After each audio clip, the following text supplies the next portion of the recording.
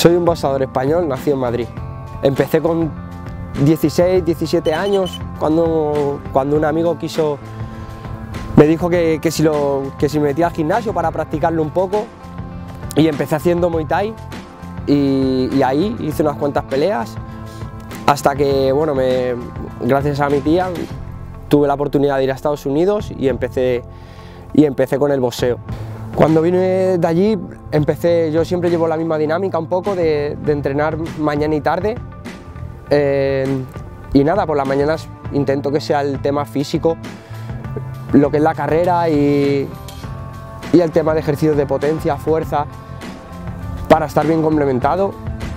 Por las mañanas eh, entreno con la selección española, el tema físico, que la verdad que tienen un preparador y un equipo increíble y me están ayudando bastante también con mi, tema físico. Luego por las tardes lo complemento un poco con mi gimnasio, que es el Bronze de Tinín Rodríguez, y, ahí pues cogemos un poco el tema técnico del boxeo y, el tema táctico, para que, para que sigamos mejorando, para que sigamos mejorando esa técnica y, y nada, día a día ser mejor. Me llamo Agustín Rodríguez, eh, alias Tinín, y estamos en la Escuela de Boxeo Bronx. Escogí Vallecas porque es un, eh, un, pueblo especial para el boxeo. Esto es como el vino o la gastronomía, ¿no? Aquí siempre serán donde nacen los grandes boxeadores. El mero hecho de entrenar aquí tiene algo especial. quiero que cuando entres, pues sea como una escuela de boxeo de las de los años 70, ¿no? Eh, quiero que, que, cuando, cuando entres aquí parezca que va a salir Rocky debajo de las piedras.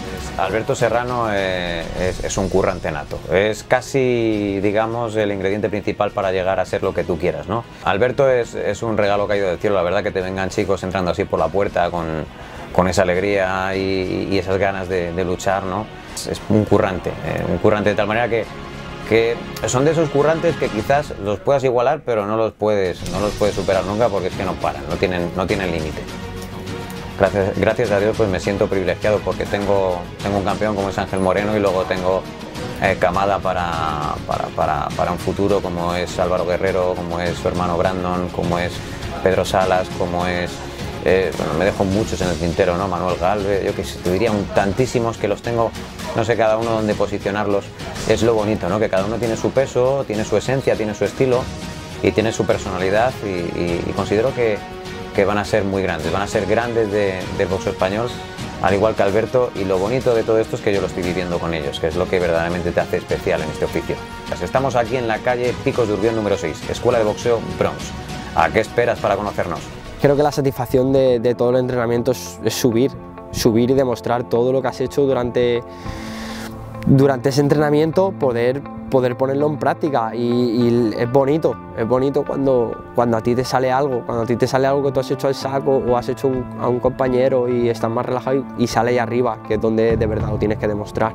Estoy en boxeo amateur, bueno, en boxeo aficionado porque creo que es la mejor manera de hacer una buena carrera. Cuando empecé todo esto, sinceramente al principio empiezas como un poco plan de hobby o que no sabes muy bien dónde tal, pero vamos, ahora tengo claro dónde quiero llegar y dónde quiero estar.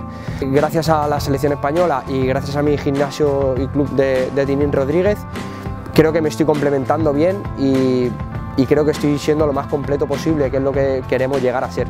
Creo que la carrera amateur tiene que ser bastante dilatada para que, para que tú seas lo más completo posible. El objetivo final de todo esto llega hasta que sea campeón mundial.